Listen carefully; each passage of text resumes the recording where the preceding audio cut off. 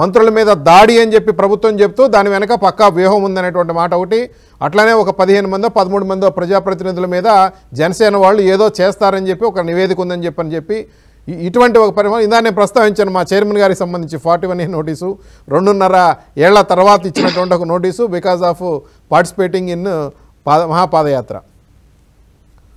విజయ్ గారు ముందుగా పాకిస్తాన్ మీద అద్భుతమైన విజయాన్ని సాధించిన టీమిండియాకి ముందుగా శుభాకాంక్షలు. అలాగే ఈ మ్యాచ్లో ఎనభై రెండు పరుగులతో నాట్అవుట్గా నిలిచి అద్భుతమైన పెర్ఫార్మెన్స్ని మరోసారి చూపించిన విరాట్ కోహ్లీ కూడా దీపావళి సందర్భంగా శుభాకాంక్షలు. దీపావళిని ముందుగానే అందించిన టీమిండియాకి శుభాకాంక్షలు.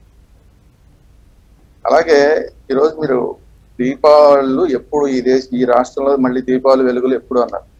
దీపాల వెలుగులు ఎప్పుడు వస్తాయంటే దీపావళి నరకాసుర సంహారం జరిగిన తర్వాత దీపావళి వస్తుంది. నరకాసురుని ఎప్పుడైతే నరకాసుర సంహారం జరుగుతుందో అప్పుడు ప్రజలందరూ ఆనందంతో దీపావళి చేసుకుంటారు.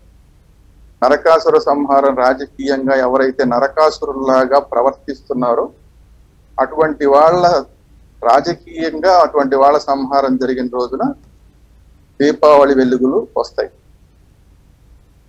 గతంలో దీపాలు ఎందుకు కొన్నాళ్ళు? అసలు దీపాలు పెట్టడానికి కారణం ఏంటంటే రాక్షసులు ప్రజల మీద పడి రాత్రి అయితే చాలు ప్రజల మీద పడి ఎక్కడ దొరికితే అక్కడ మనుషులను చంపి తినేసేవాడు వీళ్ళకి గాలిలో వెళ్తుంటే కింద దీపాలు వెలిగి ఇంట్లో దీపాలు వెలుగుతుంటే మనకి యుద్ధం సమయంలో కూడా చూడండి దీపాలు ఆర్పేస్తారు. ఎందుకు? పైనుంచి ఫ్లైట్లు వెళ్తూ ఉంటే అవి ఎక్కడ దీపాలు కనబడితే ఇది ఊరు అని చెప్పి దాని మీద బాంబులు వేస్తాయి అందువల్ల యుద్ధ సమయంలో దీపాలన్నీ ఆర్పేస్తారు.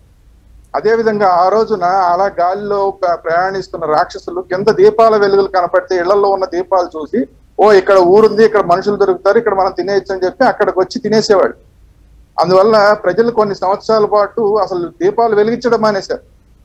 అంటే ఇక్కడ మనం ఉన్నాము మనం ఉన్నాము మన ఈ ఉనికి అనేది తెలియకూడదు రాక్షసులకని. అట్లాగా ఈ రోజు రాష్ట్రంలో కూడా ఖాళీ జాగాలు ఎక్కడన్నా కనబడితే అలా గాలిలో ప్రయాణం చేయడం లేదంటే మనకి ఇప్పుడు డ్రోన్లు వచ్చినాయి ఈ డ్రోన్ల ద్వారా ఎక్కడ ఖాళీ జాగాలు కనబడుతున్నాయో మరి ఏం చూస్తున్నారో మరి తెలియదు. అలా ఎక్కడ ఖాళీ జాగా కనబడితే అక్కడ కొంతమంది రాజకీయ రాక్షసులు దిగిపోయి వాటన్నిటిని స్వాహా చేసేస్తున్నారు. ఇట్లాంటి రాక్షసులందరి సంహారం రా నరకాసుడితో సహా జరిగితే అప్పుడు దీపావళి వస్తుంది. నరకాసుర సంహారం కూడా ఎలా జరిగిందంటే స్వయంగా ఆయనకున్న వరం వల్ల కన్న తల్లి ఎవరైతే ఉందో తల్లి చేతుల్లోనే చనిపోవాలని ఉంది. అందుకని ఆ రోజున నరకాసురుడిని కృష్ణుడు వధించలేదు. ఎవరు వధించారంటే సత్యభామ వధించింది ఆయన తల్లే స్వయంగా. నా కొడుకు అని కూడా చూడకుండా వీడు దుర్మార్గుడు అయిపోయాడు. ఇలాంటి దుర్మార్గుడు ఈ భూమి మీద ఉండటానికి వీల్లేదు. నా కన్న కొడుకైనా సరే వీడి సంహారం చేయాల్సిందే అని చెప్పి సత్యభామ సంహారం చేసేసింది ఆ రోజున. అదేవిధంగా ఈ రోజు ఎవరైతే నరకాసురులాగా వ్యవహరించే రాక్షసులు ఉంటారో అట్లాంటి వాళ్ళని ఓటరు కన్న తల్లి లాంటి ఓటరు నేనే ఎన్నుకున్నాను వీడిని వీడికి అధికారం ఇచ్చాను వీడు బాగా పరిపాలిస్తాడని అధికారం ఇచ్చాను. అయినా సరే వీడు దుర్మార్గంగా పరిపాలిస్తుంటే వీడు గనక ప్రజలకి కంటకుడుగా మారితే లేదా రాష్ట్రానికి కంటకుడుగా మారితే లేదా దేశానికి కంటకుడుగా మారితే ఇలాంటి వాడు రాజకీయంగా ఉండటానికి వీల్లేదు అని కన్న తల్లి ఆ రోజు నరకాసురుని ఎలాగైతే సంహరించిందో తనే తెచ్చుకున్న ఈ నరకాసురుడు లాంటి రాజకీయ నాయకుల్ని ఓటర్ అనేవాడు తన ఓటు హక్కుతో కనుక సంహరించేస్తే ఆ రోజున దీపావళి వస్తుంది. అది ఎంత ఎన్ని రోజుల్లో వస్తుంది అనేది సరే మన విల్సన్ గారు ఏదో చెప్పారు ఆ టైం నాకు తెలియదు కానీ మొత్తానికి అలా అది అవకాశం. సో ఈ రోజు కన్న తల్లి లాంటి ఓటర్ చేతుల్లోనే ఉంది నరకాసుర సంహారం చేయడం. నరకాసుర సంహారం చేయడం. సో ఇంకా విశాఖపట్నం విషయానికి వస్తే సరే విశాఖపట్నం జనసేన విషయంలో మాట్లాడారు సరే పోలీస్ కమిషనర్ గారు మాట్లాడారు ఏదో కుట్రలు అన్నారు ఏవేవో అన్నారు.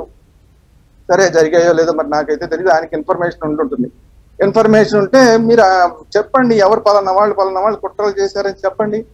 చెప్పి అప్పుడు జాగ్రత్త పడతారు. మిగతా పార్టీల వాళ్ళు జాగ్రత్త పడతారు. మన మంత్రులు ఇబ్బంది పడ్డారు. రేపొద్దున ఇంకొంతమంది ఇబ్బంది పడకుండా ఉంటారు. మీరు వాళ్ళని బయట పెట్టండి. ఏంటి ఆ కుట్ర ఎవరు చేశారు? ఏంటి బయట పెట్టండి. బయట పెట్టకుండా ఊరికే కుట్ర చేశారు అంటే ఏం ఉపయోగం? మీరు బాధ్యత కలిగిన పోలీసు పోస్టులో ఉన్నారు. బాధ్యత కలిగిన పెద్ద పదవిలో ఉన్నారు. సో ఇప్పుడు సరే జనసేన వాళ్ళు ఏదో కుట్రలు చేశారు ఏదో చెప్పారు. సరే బాగానే ఉంది. అయితే రాజమండ్రిలో రైతుల మీద దాడులు కొంతమంది చేశారే.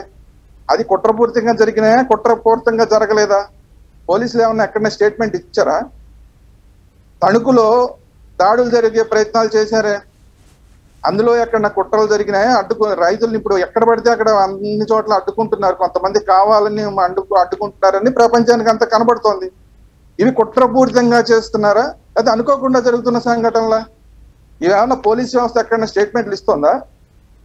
అయితే వీట ఇలాంటివన్నీ సంఘటనలు జరిగే అవకాశం ఉంది అని చెప్పి ఈ రోజు మంత్రిగా ఉన్న అమర్నాథ్ గారే చాలా రోజుల నుంచి చెప్తున్నారు. చెప్తున్న తర్వాత ఆయన చెప్పిన తర్వాతే ఇలాంటి దాడులు అక్కడక్కడ జరుగుతున్నాయి. రాజమండ్రిలో ఇంకో చోట ఇంకో చోట రైతుల మీద జరుగుతున్నాయి. మరి ఇలాంటికి జరిగే ప్రమాదం ఉందని మంత్రి గారే చెప్పిన తర్వాత కూడా మరి మీరు దాని మీద ఎంక్వైరీ చేశారా చేయలేదా? దాని మీద ఏమి స్టేట్మెంట్ ఇవ్వరు పోలీసులు? పోనీ ఆ మంత్రి గారిని పిలిచి అడిగారా? ఫార్టీ వన్ ఏనో ఇంకో నోటీసో ఇచ్చి పిలిచి ఏమంటే మీ దగ్గర ఉన్న ఇన్ఫర్మేషన్ ఏంటి? మీరు ఎలాగ కుట్రలు జరుగుతాయి రైతుల మీద దాడులు జరుగుతాయని చెప్పారు అని చెప్పి మరి ఎప్పుడన్నా ఆ కుట్ర గురించి వాటి గురించి ఏమన్నా చెప్పారా? వాళ్ళ గురించి ఆలోచించారా? ఇలా ప్రమాదం జరిగే అవకాశం ఉందని మంత్రి గారు చెప్పారు కదా. మరి దాని మీద ఎందుకు నీ police commissioner police Visakhapatnam police commissioner గారి పరిధిలోనే ఉన్నారు ఈ మంత్రి గారు కూడా? మరి ఆయన్ని పిలిచి ఏనాడన్నా ఈ కమిషనర్ గారు మాట్లాడారా? దాని మీద కూడా ఒక స్పష్టత ఇస్తే కనుక మనకి కూడా కొన్ని విషయాలు తెలిసేవి ఇంకా మరి రాబోయే రోజుల్లో ఇంకొన్ని జరగకుండా రైతుల మీద లాంటివి జరగకుండా మనం అటు అడ్డుకునే అవకాశం ఉండేది. మరి అమర్నాథ్ గారిని ఎందుకు పిలవట్లేదు? వారి దగ్గర నుంచి సమాచారం ఎందుకు సేకరించట్లేదు మరి నాకైతే తెలియదు అందువల్ల పోలీస్ వ్యవస్థ ఇప్పుడు మీరు చెప్పిన బిఆర్ నాయుడు గారి ఇష్యూ ఇలాంటి పో- ఎప్పుడో జరిగిన దానికి ఇప్పుడు ఇస్తుంటే దీని గురించి పోలీస్ వ్యవస్థని రాష్ట్ర ప్రజలు ఏ విధంగా అర్థం చేసుకుంటారు? సరే కోర్టులు ఉన్నాయి కాబట్టి ఈరోజు మనకు కొంత స్వాతంత్రం జరుగుతుంది. ఈ కోర్టులు కూడా లేకపోతే పోలీసులు చేసే ఇలాంటి పనులు. కనీసం ఫార్టీ వన్ ఏ నోటీస్ ఇవ్వకుండా గత వారం కూడా మనం మాట్లాడుకుంటున్నాం. ఈ రోజు మన పట్టాభి గారు ఆ రోజు కూడా ఉన్నారు. పట్టాభి గారి ఇంటి మీద ఏ విధంగా దౌర్జన్యం చేశారో పోలీసులు. మరి దీన్ని ఏమంటారు? ఈ ఈ ప- పట్టాభి గారి ఇంటి మీద ఆయన లేని సమయంలో వాళ్ళ ఇంట్లో అంత ధ్వంసం జరిగింది. ఇది కుట్రపూరితంగా జరిగిందా? లేదంటే సడన్గా అనుకోకుండా జరిగిందా? దీని మీద కూడా ఒక పోలీసులో స్పష్టత ఇచ్చుంటే కనుక ఇంకా బాగుండేది. అక్కడ ఉన్న చిన్న పిల్ల భయపడిపోయింది. పాపం ఆ పిల్లని ఆ భయం నుంచి కాపాడడానికి ఆయన కొన్ని రోజులు ట్రిప్కి తీసుకెళ్ళాల్సి వచ్చింది పట్టాభి గారు. నాన్న ఏం లేదు. ఇలాంటివన్నీ రాజకీయంగా జరుగుతుంటాయి ఒక కంగారు పడకమ్మా అని చెప్పి ఆ అమ్మాయి మైండ్ డైవర్ట్ చేయడానికి కొంచెం అలా ట్రిప్కి తీసుకెళ్ళి మంచి మంచి ప్రదేశాలు చూపించి తన కూతురి మైండ్ డైవర్ట్ చేసుకోవాల్సిన పరిస్థితి మరి ఇలాంటి పరిస్థితులు ఆ రోజున జరిగిన కుట్రపూరితంగా చేశారా? లేదంటే సడన్గా జరిగినాయా? దాని మీద కూడా పోలీసులు స్పష్టత ఇవ్వాల్సి ఎక్కడ కుట్రలు జరిగినా కూడా వాటి మీద స్పష్టతలు ఇవ్వండి. ఇప్పుడు ఎలా చక్కగా ఇచ్చారు? జనసేన వాళ్ళు ఇలా చేశారని మంచి స్పష్టతను ఇచ్చారు. ఇట్లాగే మిగతా వాటి మీద కూడా ఇవ్వండి. ఎందుకు ఒకళ్ళ వైపు ఒకలాగా ఒకళ్ళ వైపు ఒకలాగా చేస్తున్నట్టుగా ఈ రాష్ట్రంలో పోలీసుల మీద అభిప్రాయం కలుగుతోంది. అలాంటి అభిప్రాయం లేకుండా చూసుకోవాల్సిన బాధ్యత పోలీసుల మీద ఉంది కదా. సో వీటన్నిటిని చేయకుండా వన్ సైడెడ్గా చేసుకుంటూ వెళ్తే మాత్రం పోలీస్ వ్యవస్థ మీద ఇబ్బంది కలుగుతుంది వాళ్ళ మీద నమ్మకం కలుగుతుంది. పోలీస్ వ్యవస్థ మీద నమ్మకం కలిగితే ప్రజలకి మనం ఎప్పుడు మాట్లాడుకుంటున్నట్టే ప్రజలు పోలీసుల మీద వ్యవస్థ మీద నమ్మకాన్ని కోల్పోతే పోలీసు వ్యవస్థ చేసే పనులన్నింటినీ ప్రజలు చేయవచ్చు ఓకే శ్రీరామ్ గారు మీరు అన్నట్టుగా ప్రభుత్వం చేస్తున్న కుట్రలు లేదంటే అధికార పార్టీ చేస్తున్న కుట్రలు ప్రజలందరికీ తెలుస్తున్నాయి కానీ మరి అది కుట్రగా వాళ్ళు భావించడం లేదేమో. పట్టాభి గారు చిన్న